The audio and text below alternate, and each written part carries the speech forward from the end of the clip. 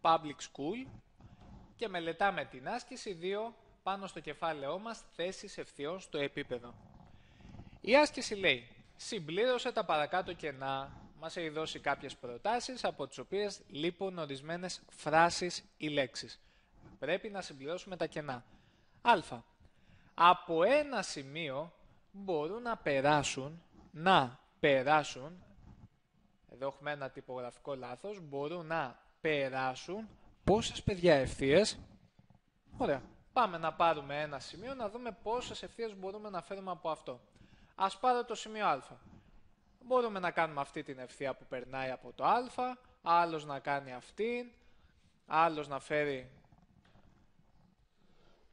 να φέρει μία τρίτη ευθεία, άλλος μία τέταρτη, άλλος μία πέμπτη, άλλος να φέρει... Μπορούμε να φέρουμε παιδιά πάρα μα πάρα μα πάρα πολλές ευθείες. Πάρα πολλές ευθείες μπορεί να φέρει ο καθένας. Άρα προφανώς πόσες ευθείες μπορούν να περάσουν από ένα και μόνο σημείο; Άπειρες ευθείες. Από ένα και μόνο σημείο μπορούν να περάσουν άπειρες ευθείες.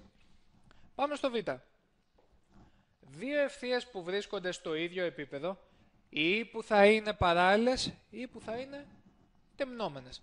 Δύο ευθείες, παιδιά, τι θα είναι; Ή που δεν θα συναντιούνται καθόλου, θα είναι δηλαδή έτσι, παράλληλες, ή που θα συναντιούνται. Η μία θα πηγαίνει έτσι και η άλλη θα πηγαίνει έτσι. Δηλαδή, αν τις προεκτείνουμε αυτές, μοιραία θα συναντηθούν σε ένα σημείο.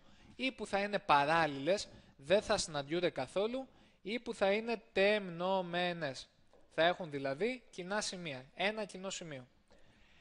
Δύο ευθείες του επίπεδου κάθετες σε μία ευθεία, μεταξύ τους τι θα είναι; Μάλιστα, για να κάνουμε ένα σχηματάκι να δούμε τι έχουμε. Έχουμε δύο ευθείες που είναι κάθετες σε μία ευθεία. Δηλαδή αν εγώ σου σχεδιάσω μία ευθεία, την ευθεία ε, θα πάρω μία ευθεία τη ζ η οποία είναι κάθετη στην ε και θα πάρω και άλλη μία ευθεία η, η οποία είναι και αυτή κάθετη στην ε.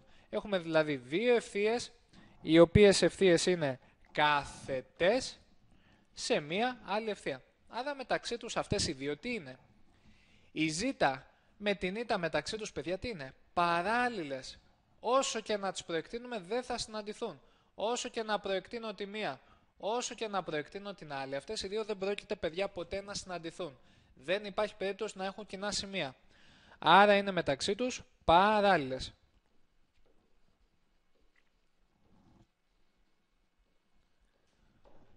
Πάμε στο άλλο. Δύο ευθείες.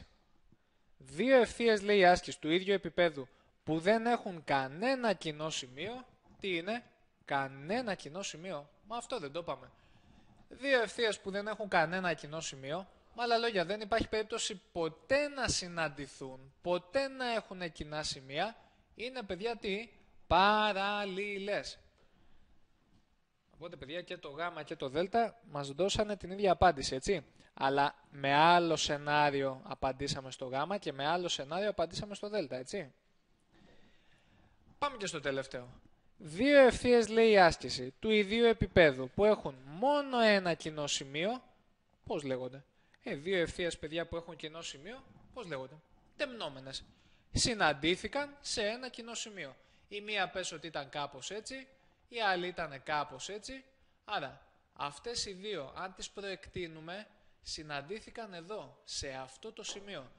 Άρα, αφού συναντήθηκαν, αυτές οι δύο οι ευθείες λέμε ότι είναι τεμνόμενες, δηλαδή τέμνονται, συναντιούνται, έχουν κοινό σημείο και αυτό εδώ το κοινό σημείο όπου συναντήθηκαν λέγεται πώς; Σημείο τομής, σημείο συνάντησης, κοινό σημείο δηλαδή, σημείο τομής των δύο ευθειών.